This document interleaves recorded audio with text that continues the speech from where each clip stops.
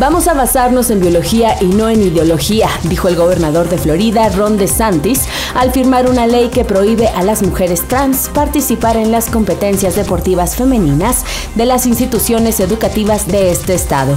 Creemos que es muy importante preservar la integridad de estas competencias, dijo el gobernador republicano al firmar la legislación en una escuela cristiana en Jacksonville. Las chicas jugarán deportes de chicas y los varones deportes de varones. Noticieros Teleurban.